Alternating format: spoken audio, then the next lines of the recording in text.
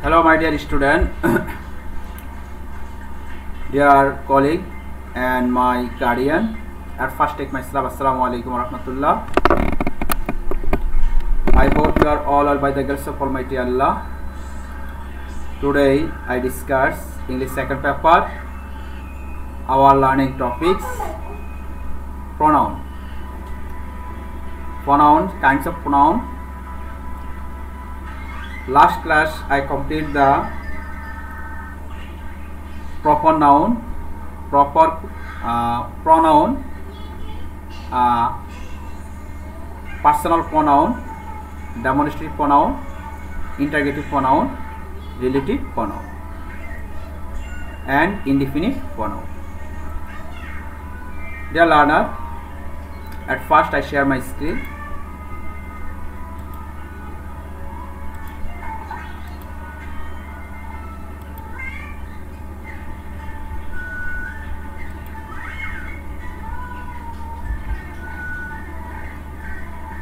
আমরা গত ক্লাসগুলোতে পার্সোনাল প্রনাউন আলোচনা করেছি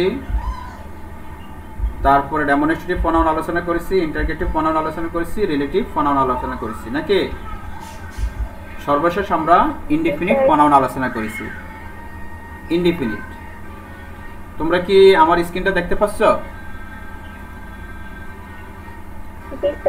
আচ্ছা। ইনডিফিনিট প্রনাউন আমি গত ক্লাসে তোমাদের এই সম্পর্কে কিছু ধারণা দিয়েছিলাম। ইনডিফিনিট শব্দের অর্থ হলো অনির্দিষ্ট। ইনডিফিনিট শব্দের অর্থ কি? অনির্দিষ্ট। যে প্রনাউন দ্বারা কোনো ব্যক্তি বা বস্তুকে অনির্দিষ্টভাবে বোঝায়, তাকে ইনডিফিনিট প্রনাউন বলে। বলো তাহলে ইনডিফিনিট প্রনাউন কাকে বলে? শিক্ষার্থীরা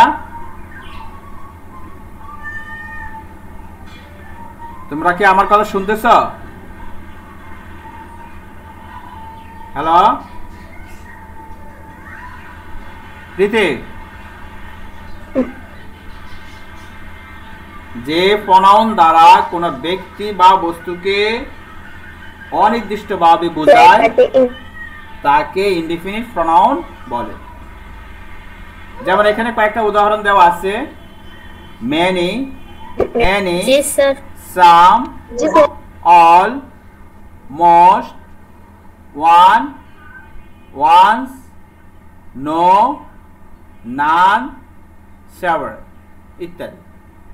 এই শব্দগুলো ইনডিফিনিট ফনাউন এই শব্দগুলো যদি কোনো সেন্টেন্সের মাঝে বা কোথাও থাকে তাহলে আমাদেরকে ধরে নিতে হবে এই সেন্টেন্সগুলো প্রনাউন আর কি ধরনের প্রনাউন এগুলোকে বলা হয় ইনডিফিনিট প্রনাউন যেমন কিছু উদাহরণ দেখে নেই।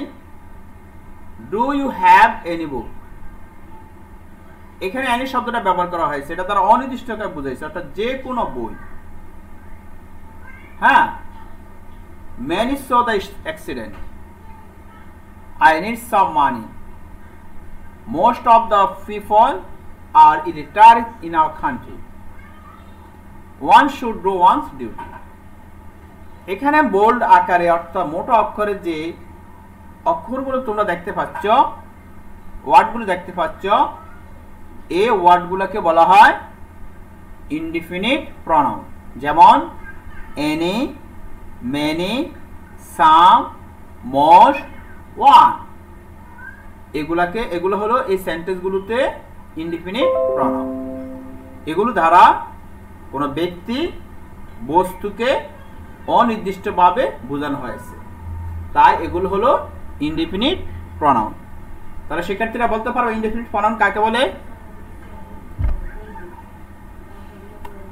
হ্যালো তোমরা কি আমার কথা শুনতেছ? হ্যালো প্রীতি?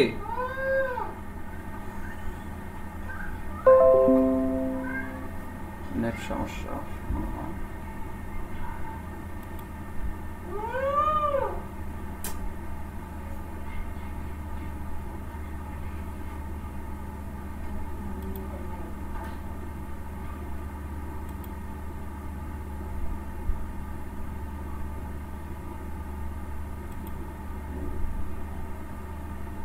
যে ফলাউন দ্বারা কোনো ব্যক্তি বা বস্তুকে অনির্দিষ্টভাবে বোঝায় তাকে ইনডিফিনিট প্রনাউন বলে।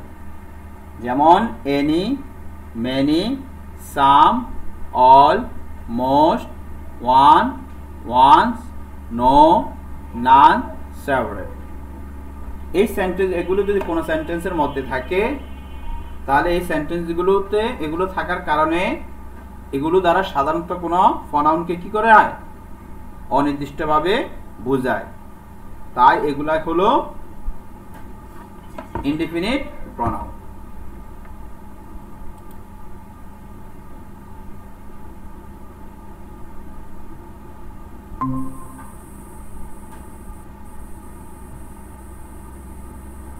শিক্ষার্থীরা তোমরা কি আমার কথা শুনতেছ?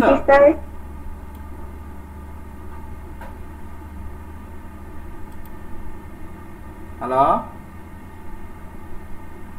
জি স্যার। আচ্ছা ঠিক আছে। এবার শোনা যায়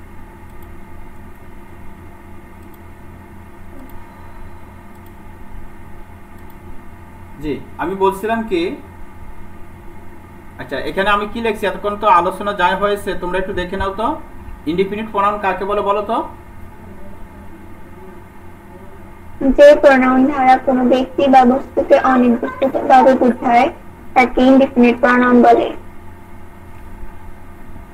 যেমন ইয়া সাদিয়া বলো যেমন।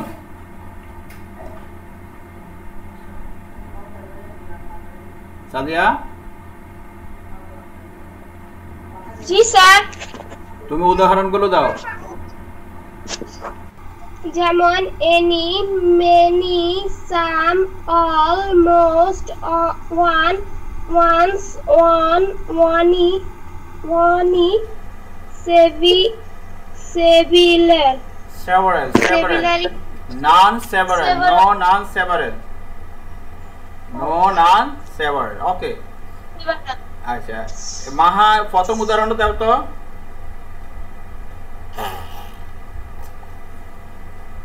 মাহা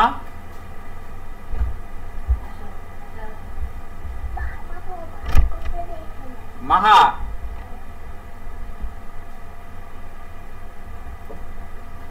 তোমরা কি আমার কথা শুনতেছ? জি স্যার। আচ্ছা তাহলে ইয়ার প্রথম উদাহরণ দাও।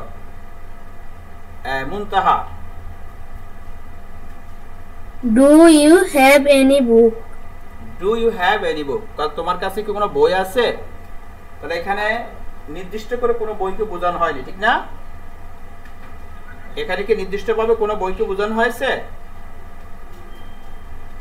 Hello hello man is saw the accident আমি কি বল কিস করছি? অনেক দুর্ঘটনা দেখেছি। এখানে কোনো নির্দিষ্টভাবে বোঝানো হয়নি। আই নিড সাম মানি আমার কিছু টাকা আছে। এখনও নির্দিষ্টভাবে বোঝানো হয়নি। Most of the people. Are illiterate in our country আমাদের দেশে অধিকাংশ মানুষই কি? অশিক্ষিত। এখানেও নির্দিষ্ট করে বোঝানো হয়নি। তা এই উদাহরণগুলোর মধ্যে যে প্রমাণটা পেলাম, অর্থাৎ এই শব্দগুলো দ্বারা ব্যক্তি- কোনো এই ফনানগুলো দ্বারা কোনো ব্যক্তি বা বস্তুকে অনির্দিষ্টভাবে বোঝায়, তাই এগুলাকে বলা হয় ইনডিফিনিট প্রণাম তাহলে আমরা শিখলাম ইনডিফিনিট প্রনাউন হলো যে প্রনাউন দ্বারা কোনো ব্যক্তি বা বস্তুকে অনির্দিষ্টভাবে বোঝায়, তাকে ইনডিফিনিট প্রনাউন বলে। আশা করি শিক্ষার্থী বন্ধুরা তোমরা বুঝছ।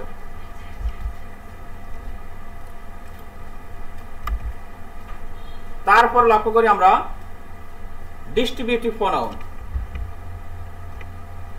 distributive pronoun distributive pronoun এর অর্থ হলো বন্টন, নির্দেশক, সর্বনাম। ডিস্ট্রিবিউট কয় না মানুষে। ডিস্ট্রিবিউট করা বলে কি না ডিস্ট্রিবিউট শব্দের অর্থ হলো বন্টন। ডিস্ট্রিবিউট শব্দ অর্থ কি? বন্টন করা দা ভাগ করা যে ফনাউন অনেকগুলো ব্যক্তি বা বস্তুর মধ্যে একটি বস্তুকে বা ব্যক্তিকে আলাদা করে বোঝায় তাকে ডিস্ট্রিবিউটিভ ফনাউন বলে। ডিস্ট্রিবিউট মানে ভাগ করে দেওয়া বন্টন করে দেয়া। যে প্রনাউন অনেকগুলো ব্যক্তি বা বস্তু থেকে একটি বস্তু বা ব্যক্তিকে আলাদা করে বোঝায় তাকে ডিস্ট্রিবিউটিভ প্রনাউন বলে। যে প্রনাউন অনেকগুলো ব্যক্তি বা বস্তু থেকে একটি বস্তু বা ব্যক্তিকে আলাদা করে বোঝায় তাকে ডিস্ট্রিবিউটিভ প্রনাউন বলে। আমার কথা কি বুঝছে সবাই?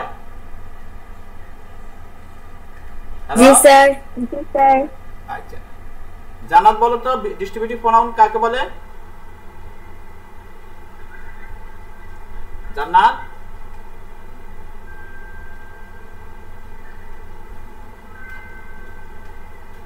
আচ্ছা মাহা বলো মাহা। মাহা। মাহা। স্যার ওনাকে আপনার কথা শুনে না?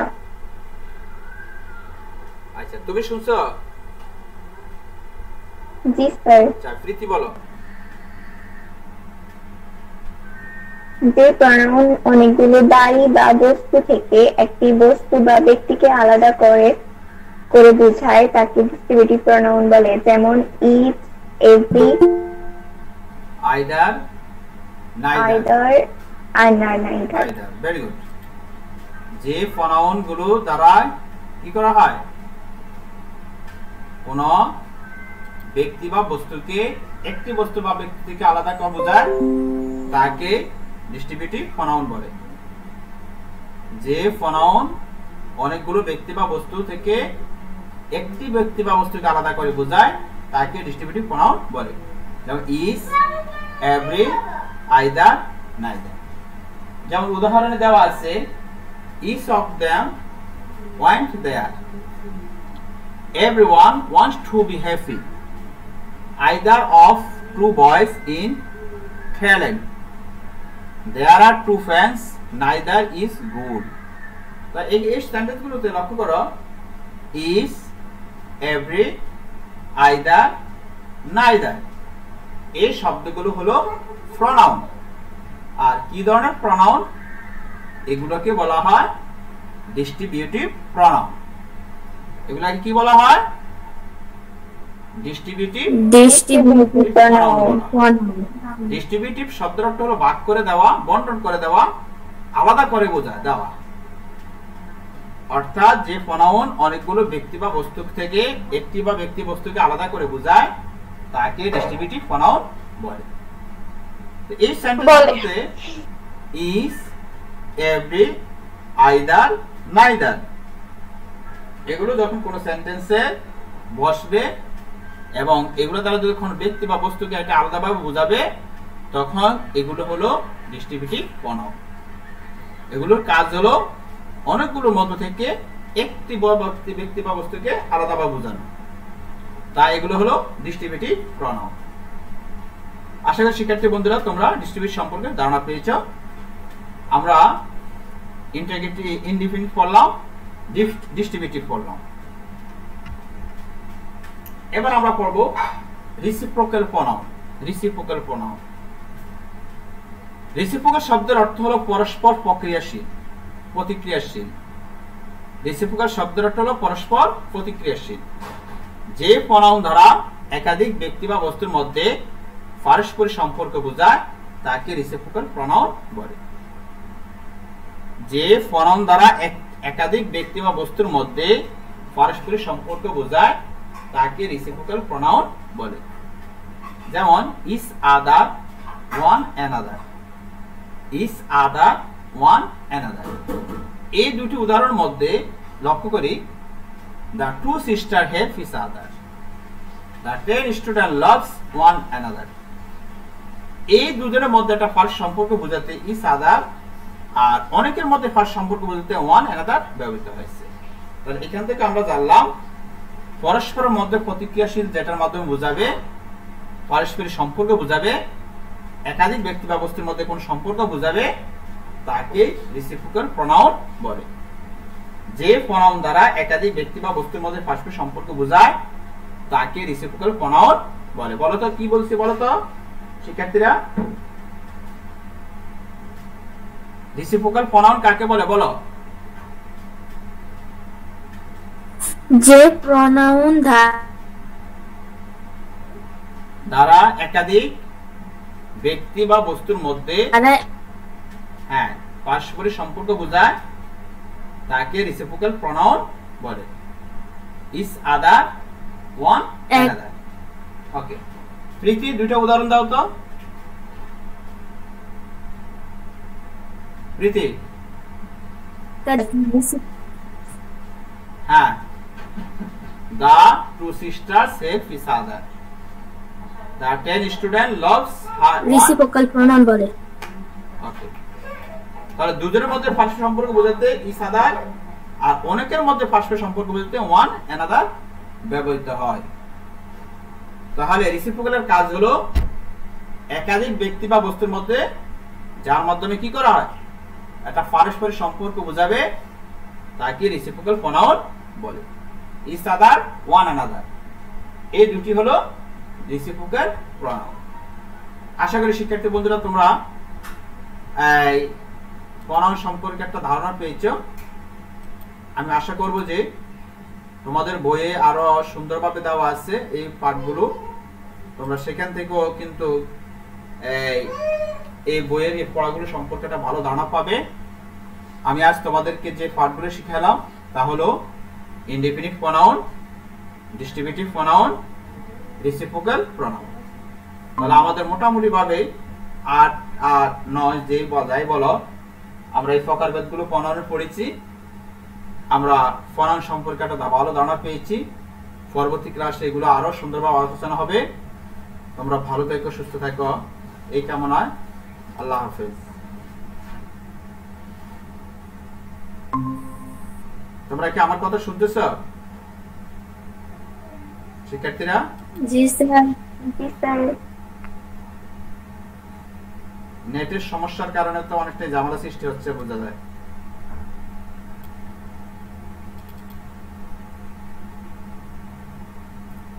এভাবে কি ক্লাস নেওয়া সম্ভব হবে? যে অবস্থা দেখা যাইতেছে নেটের।